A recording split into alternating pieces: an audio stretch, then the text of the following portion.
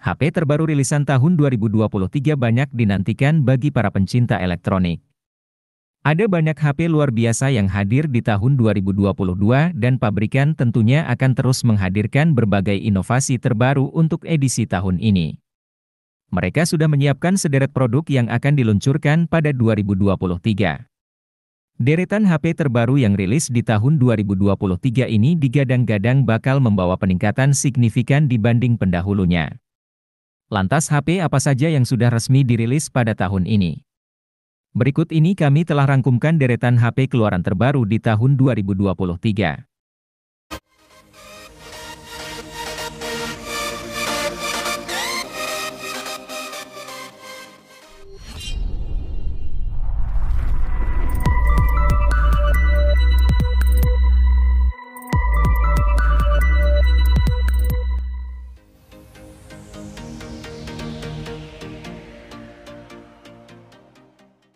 Butuh HP 2 jutaan yang baterainya awet, memori besar, dan sudah memiliki NFC.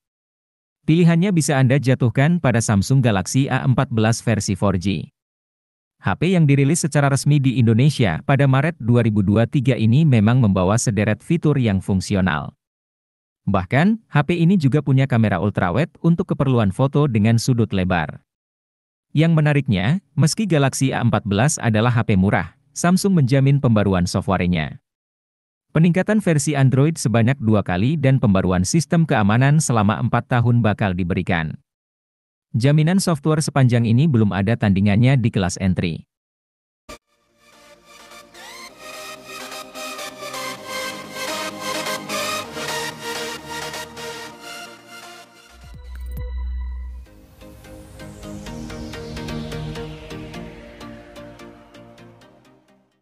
Penasaran dengan HP Snapdragon 8 Gen 2 pertama yang masuk ke pasar Indonesia? Sambutlah Eco 11 5G, sebuah gebrakan inovasi kekinian yang melibatkan tiga Iron Machine bertenaga yakni chipset Snapdragon 8 Gen 2. Snapdragon 8 Gen 2 dibangun atas fabrikasi 4 nanometer dari TSMC yang begitu hemat daya. Sehingga, kemampuan kinerja chipset jadi lebih pintar dan berperforma tinggi. Selain punya tenaga yang besar, Eco 11 juga dibekali dengan layar super canggih demi meningkatkan pengalaman gaming. Ukuran layar berada di 6,78 inci, dan merupakan ponsel pertama di Indonesia yang mengusung panel E6 AMOLED, suguhkan performa layar dan efisiensi daya lebih tinggi.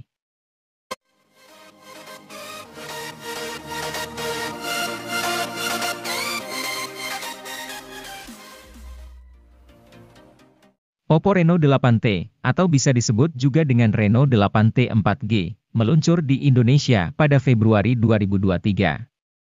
Ia tiba di Indonesia bersama dengan Oppo Reno 8T, merujuk Oppo, huruf T pada nama HP ini memiliki makna top up. Maka bisa dipahami HP ini adalah versi peningkatan dari Oppo Reno 8 4G. Peningkatan paling terlihat adalah soal desain dan performanya. HP ini memiliki punya varian dengan penutup belakang letter yang belum ada di Reno 8 4G. Sementara untuk performa, MediaTek Helio G99 jelas unggul di berbagai sisi dibanding Snapdragon 680 yang digunakan oleh Reno 8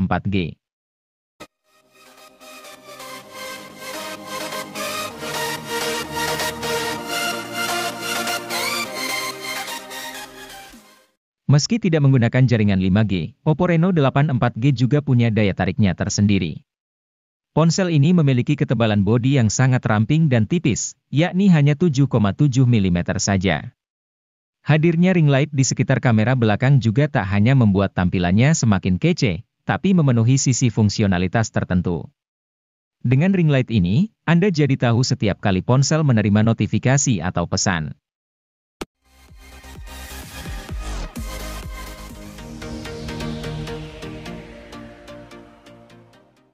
Saat Infinix Zero 5G rilis di Indonesia pada 2022, konsumen menyambut ponsel ini dengan baik.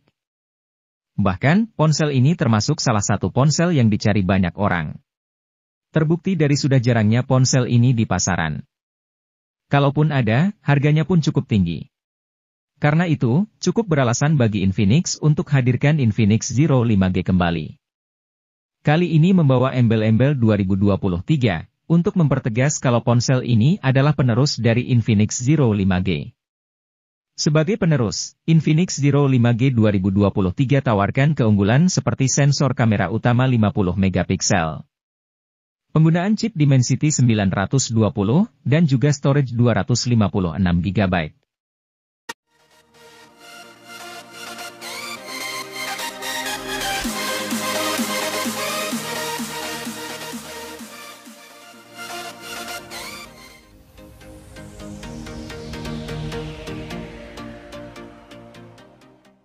Berada di kelas harga 1 jutaan tidak lantas membuat Technospark Go 2023 jadi minim spesifikasi. Di dalamnya terdapat kapasitas baterai 5000 mAh yang membuatnya sanggup tahan seharian.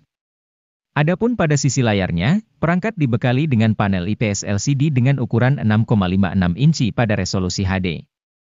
Meski belum Full HD, namun resolusinya masih terbilang wajar di kelas harga level entry. Yang menarik dari HP ini adalah keberadaan sensor pemindai sidik jari di belakang, namun sembari tetap mempertahankan unsur estetika desain punggung bodi.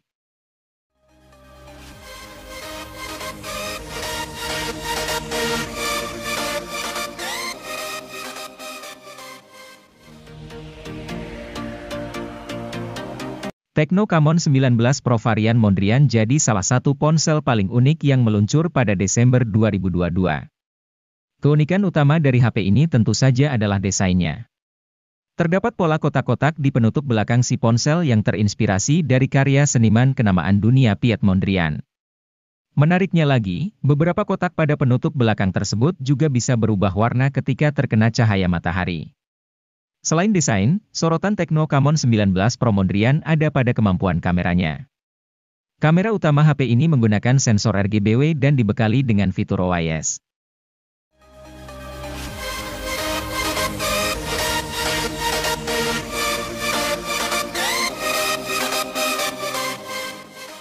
Jika Anda tidak terlalu peduli dengan keunikan desain varian Mondrian, Anda bisa memilih Tecno Camon 19 Pro varian warna Eco Black dan Polar Blue. Keduanya punya harga yang lebih murah ketimbang Mondrian. Meski begitu, kemampuan kameranya tetaplah sama. Untuk diketahui, Camon 19 Pro adalah ponsel seri Camon pertama yang meluncur ke Indonesia. Di kelas harga 3 jutaan, inilah salah satu ponsel dengan kamera paling oke untuk foto malam hari. Kemampuan ini dimiliki Camon 19 Pro tak lain karena adanya OIS dan sensor RGBW pada kamera utamanya.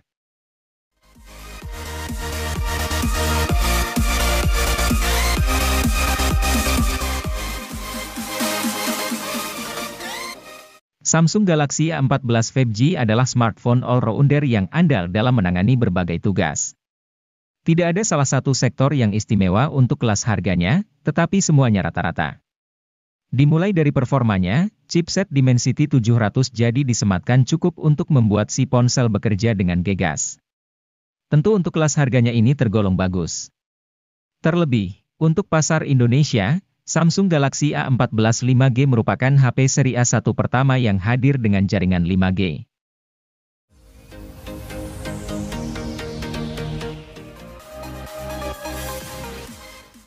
Realme 10 telah hadir di pasar Indonesia sejak awal November 2022. Dari sisi desain dan spesifikasinya, HP ini serupa namun tak sama dengan pendahulunya, Realme 9. Kini alih-alih Snapdragon 680, Realme 10 diotaki dengan chipset lebih bertenaga yaitu Helio G99. Ini merupakan chipset kelas menengah yang mencapai skor Antutu V9 sekitar 350 ribuan, sanggup menjalankan Genshin Impact dengan lancar.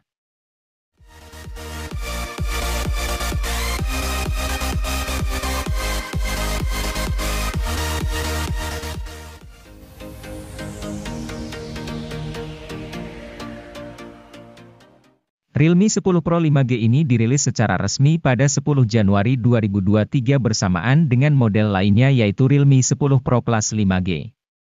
Berbeda dari saudaranya, Realme 10 Pro 5G ini membawa desain bodi datar tipis dengan ketebalan hanya 8,1 mm saja.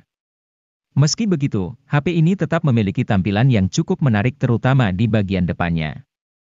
Layar HP ini memiliki ukuran 6,7 inci dengan panel IPS LCD. Meski tidak menggunakan AMOLED, layar ini tetap terlihat menarik karena ukurannya yang luas. Terlebih lagi didukung oleh bezel tipis di sekelilingnya yang hanya memiliki diameter 1 mm saja. Hal tersebut membuat rasio layar ke bodinya cukup tinggi yaitu 93,67 persen.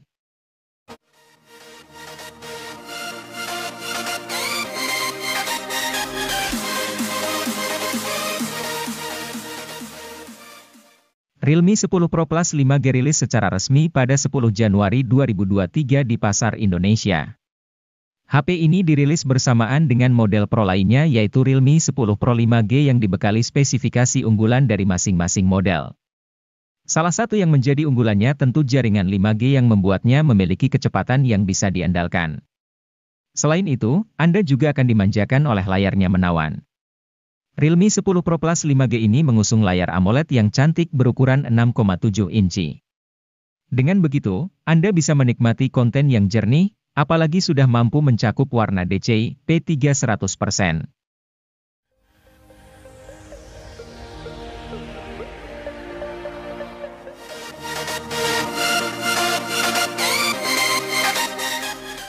Penampilannya benar-benar premium. Identitas premium terlihat dari bezel tipis, layar melengkung, dan penutup belakang bertekstur unik. Bukan cuma penampilannya yang kece, Kamera, performa, dan pengisian daya HP ini patut diacungi jempol.